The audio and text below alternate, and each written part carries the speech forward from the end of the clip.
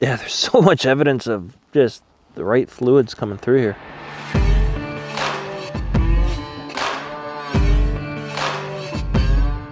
James Sykes, President and CEO of Baselode Energy.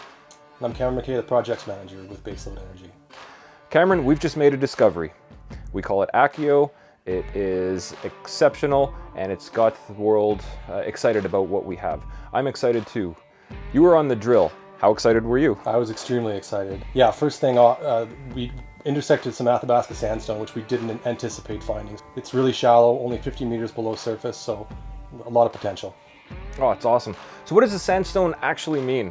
Well, I mean, if, if we were in 700 meters of sandstone, I wouldn't be excited at all, but you know, we're only 50 meters vertically below surface to the unconformity. And the, the other thing that that does too is like that, that protects any basement hosted deposit that was out there or unconformity deposit. It hasn't been, we know if it's down there, it hasn't been scraped away by a glacier. So whatever's down there is down there. Absolutely.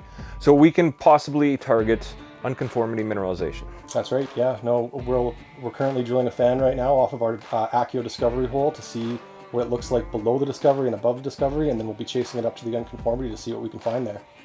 Absolutely. That's going to be very exciting. So this fits our Athabasca 2.0 model, does it not? Yeah, for sure. I mean, like you've talked about Athabasca 2.0 a lot, and uh, I've added a little bit of my two cents to it too. But in, in my mind, it's mostly about mineability.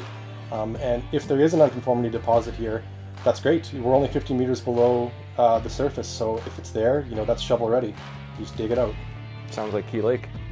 Let's hope it's just like Key Lake. Excellent. Well, thank you very much for that update, Cameron, and take care.